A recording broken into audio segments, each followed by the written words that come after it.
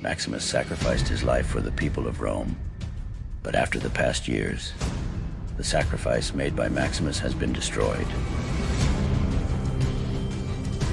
In the end, we will remember not the words of our enemies, but the silence of our friends.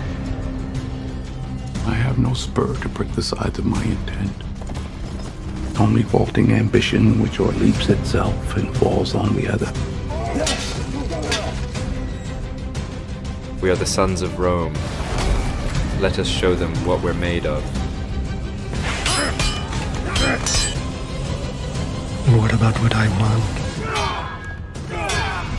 Justice.